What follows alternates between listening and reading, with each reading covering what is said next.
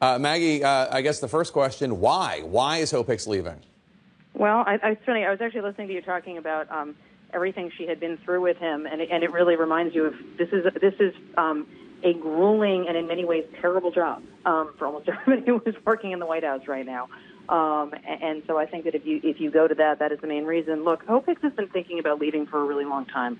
I realize that there are um, there's going to be a lot of assumptions that this all is from yesterday um, and her time on the Hill. Um, all of my reporting indicates that it's not. Uh, that this had been something um, that had been in discussion for a while, um, and that essentially she decided there was no perfect moment to leave. Um, there, she had done what she wanted to do. She had conceived of this gun forum last week. She had worked on uh, tax reform. Uh, and she had, you know, sort of accomplished what she could. She never became of Washington or a denizen of Washington. Was never part of it.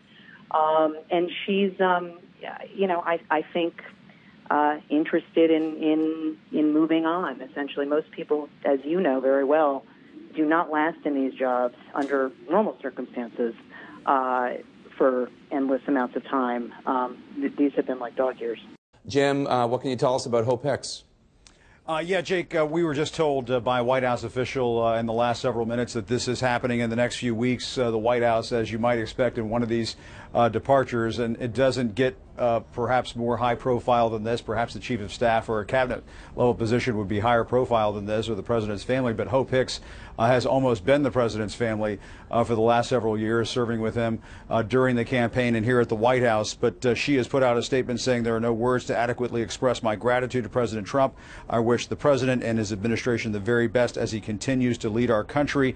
Uh, there's also a, a, quote here from the president, uh, uh Jake. Uh, Hope is outstanding and has done great work uh, for the last three years. She is as smart and thoughtful as they come. A truly great person, Chief of Staff John Kelly. When I became uh, Chief of Staff, I quickly realized what so many have learned about Hope. She is strategic, poised, and wise beyond her years. Uh, obviously, uh, some of those glowing statements uh, do sort of fight against what we heard uh, reported yesterday by our Manu Raju and others that Hope Hicks uh, essentially uh, revealed to lawmakers behind closed doors when she was testifying yesterday that she had told uh, little white lies on behalf of the president uh, during her, her, work for him.